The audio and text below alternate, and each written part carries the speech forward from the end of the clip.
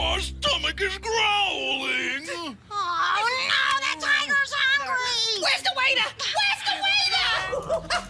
try, try, try, try, try to control yourself.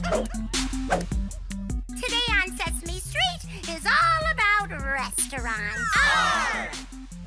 R is for restaurant. Elmo wants to learn more about restaurants. Restaurants look like a lot of fun.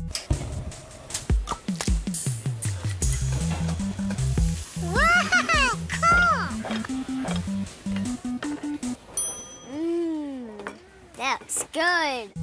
I can't wait. Something smells good.